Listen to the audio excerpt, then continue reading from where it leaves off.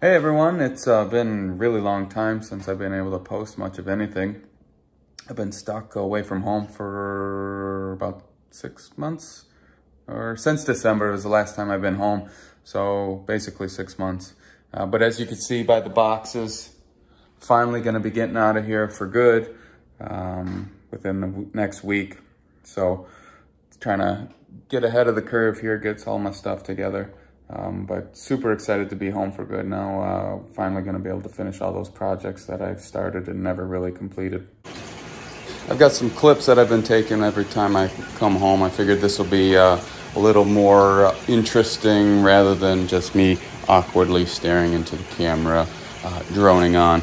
But um, yeah, like I said, lots of projects. Um, some of the first things I want to do uh, when I get home is kind of finish up that protein skimmer that was a bit of an epic fail. Um, so kind of things I want to tweak on that.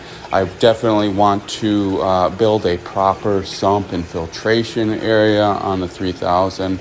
Um, like I said in previous videos, it was kind of rushed uh, towards the end of that build.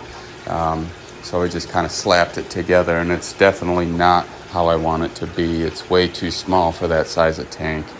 Um, so that's one of the first couple of things to look out for. Um, and then I just got a few other builds that I kind of started and never finished, uh, like a denitrator, things like that. I also need to uh, build um, some DIY live branching rock uh, just to kind of finish out the aquascape in the tank. There's a lot of bare spaces uh, over the years that have kind of fallen, and I need to uh, kind of replace and uh, add some new things to it just because some of the PVC is showing. Also, something that we're finally going to be able to do now that I'm home for good is uh, start doing coral in this main tank. Um, I'm going to do some propagation tanks just to get some uh, big colonies going uh, and then seed the tank. Obviously, uh, some of the fish in this tank are not the most appropriate for coral, uh, but we'll see. I'm going to try to find some, some of the hardiest coral, start with that, see how it goes. It'll be interesting to see how they fare with the natural sunlight. Um, hopefully it'll be uh, beneficial, although the algae might uh, appreciate the sunlight more than the coral and kind of overtake their growth. So it'll be something to keep an eye on. It'll be a fun little project to see how it goes.